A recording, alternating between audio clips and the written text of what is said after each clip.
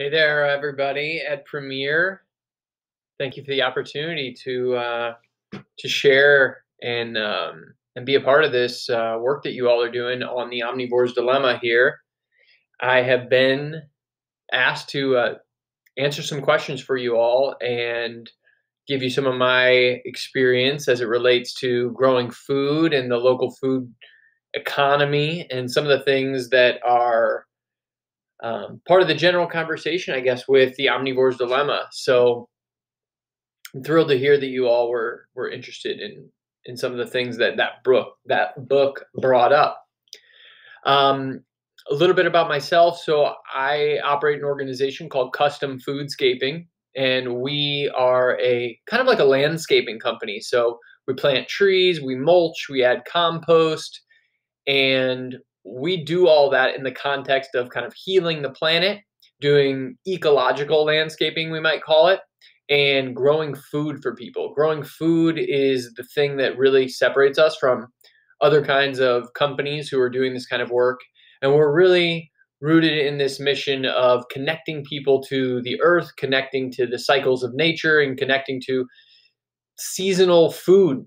Um, and, and we we hope that the work that we're doing is is advancing those goals. So, um, a little bit, you know, about how I started is that um, I started out as a uh, as somebody who looking for a way to improve the world, and um, I was kind of in my early 20s and searching for that path, and I ended up stumbling into farming, and that happened through um, doing some work with the Peace Corps.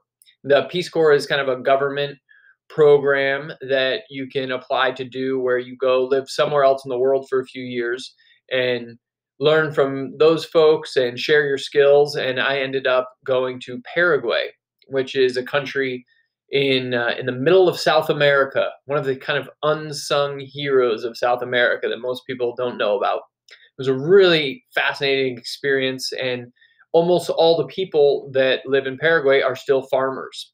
And so I was living on a rural farm and I started to learn from my farmer neighbors, and I was just totally in awe of their knowledge and their connectedness to nature and the seasons. And they had all these fruit trees like mangoes and papayas and oranges and grapefruits. And I was like totally amazed by how abundant just the trees growing around them were, and they were they didn't seem to really be doing doing much. Yet they would just walk outside and harvest all this delicious fruit. And I thought, well, this is crazy. Why why didn't I grow up like this at all? We never had anything edible growing around me.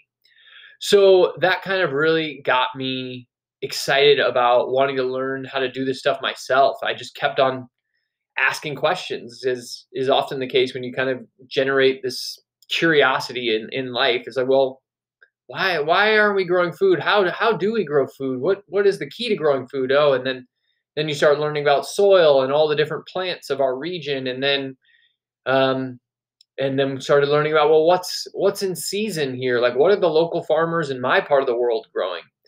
So, I think um, that really brought me into wanting to garden and farm myself, and so I ended up working for other people on farms and gardens and doing what is called apprenticeships. An apprenticeship were kind of like paid positions um, working under experienced people. So I worked on a few farms and got my experience that way. And I, I traveled to places that seemed like they were doing interesting work and, and visited them and really just was exploring this whole idea of, of, uh, of the farming and, and really about small farming because it was really the, the idea of um, things that you read about in, in Omnivore's Dilemma in terms of like the, the the farmers who are still small and connected to their land and don't spend all their time on a tractor and know their clientele. And you know when I was involved in those types of farming operations I realized that there was this really powerful two really powerful things. One is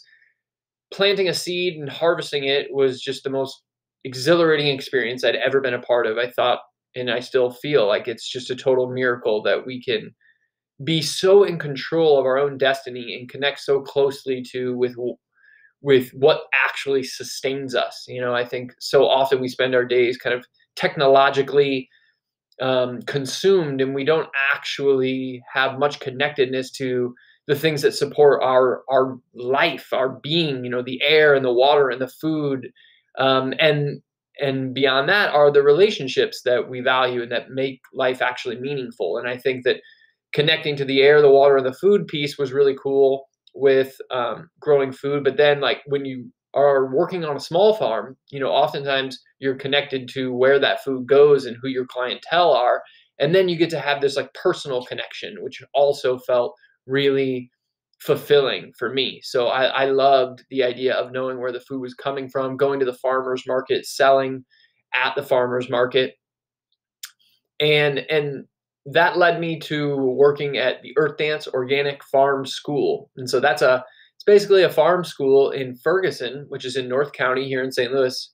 It teaches people about farming and gardening, and I, I loved working there and teaching people the things that I had learned. Um, and a lot of people, you know, like your teacher, were reaching out to us at Earth Dance saying, like, we want to do this kind of stuff at our school. We want to grow food. Or people were saying, can can you all help us at at our homes, like to grow food like this and have a garden and have fruit trees and um, and at Earth Dance, we were constantly telling people, you know, we've got this farm here. This is where we do our education. We don't really go to other people's sites and, and set up gardens. And so that really gave me the idea to do custom foodscaping, which is the the business that I mentioned earlier. And that's what I'm doing now.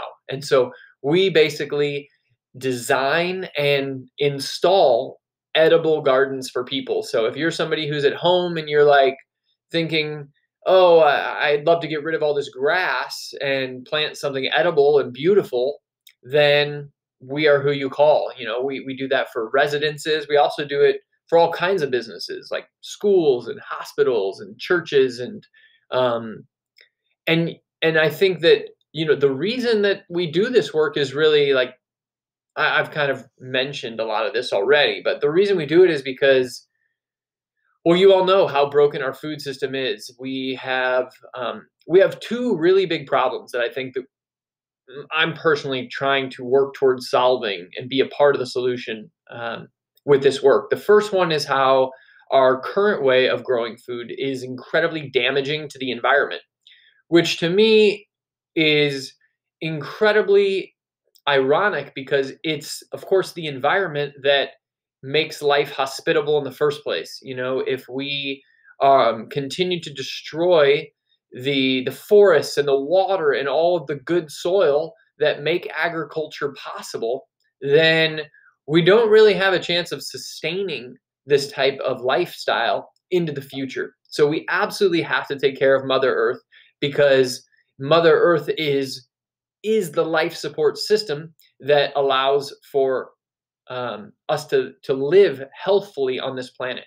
And I think that what we see in books like The Omnivore's Dilemma is that we're destroying our topsoil and pouring pesticides and fungicides into the soil, and all of these things are destroying the water and they're destroying everything that lives in the soil. And the effect of that is that we get unhealthy. We as a society are of course, eating all this processed food and things that we know aren't very nutritious for us, but a lot of times we don't know what the options are or we don't know how to cook things that are would otherwise be healthy. So we end up in this vicious cycle of destroying the earth and destroying our bodies through unhealthy eating. And so I think our work with custom foodscaping is really all about giving people the opportunity to, to change that narrative and to to say, oh, well, I can actually I can grow my own healthy fresh fruits and vegetables. I can I can compost in my own yard and and create healthy soil. Um, so that's really what we focus on is is creating that opportunity. We want to we see the future as not all food growing professionals being farmers. You know, the days of farmers are dwindling, and um, and because of mechanization and bigger and bigger tractors and smarter and smarter technology, I think we're going to just continue to see the idea of lots of farmers being out on the land, something that continues to go down.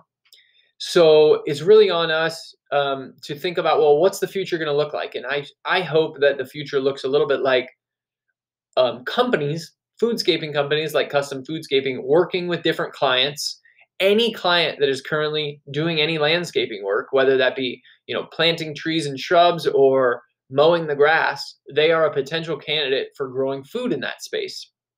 So that's that's really our hope. We want to expand this business. We want to grow it. We want we want the opportunity for people to graduate from high school and think, hey, I, I want to be a foodscaper. Like I want to be outside working with my hands. I don't want to be at a desk. I don't want to be in the at the computer because that's how I am. You know, when I was your all's age, I was miserable in the classroom and really um, fidgety and felt like I needed to be moving around, doing things, the things that I excelled at, like talking to people and and building things and um, getting dirty and being creative didn't seem to be very well valued within the school system. So this life path of growing food and um, working with the earth is really lends itself to my skill set way better than some of the other career paths that I could have chosen.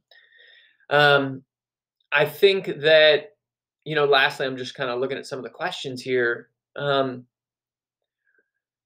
gosh, I, I think that the biggest takeaway I had from the omnivore's dilemma is, when I look back on having originally read that book, is that we have got to repair our relationship with the um, the food economy, the way that we grow food, both you know how the food is grown on farms, but also the way that we consume food, which is often mindlessly and um, in a way that doesn't really honor the immense effort and the the potency of food that we put in us because it has the ability to either heal us or to make us sick.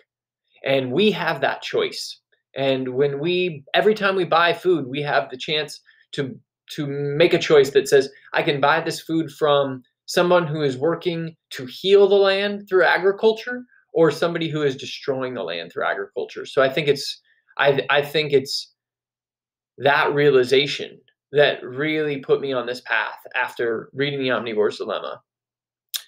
And with that, I, I will leave you all. Um, thanks again for this opportunity. My name is Matt, and you guys um, should feel free to reach out to email me. I'm going to make sure that your teacher has that information. Um, I would love to hear from you all, and I hope this has been helpful. Have a great rest of your school year.